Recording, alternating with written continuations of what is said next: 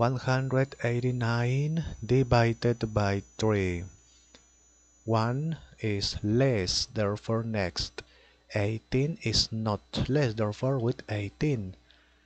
3 multiply by which number is nearest to 18 but not greater 3 multiply by 7 21 21 is greater multiply by 6 18 18 is not greater okay. Subtract 0 next.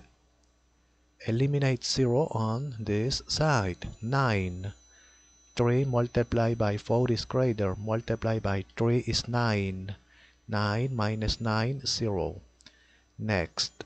There is not number therefore finish it.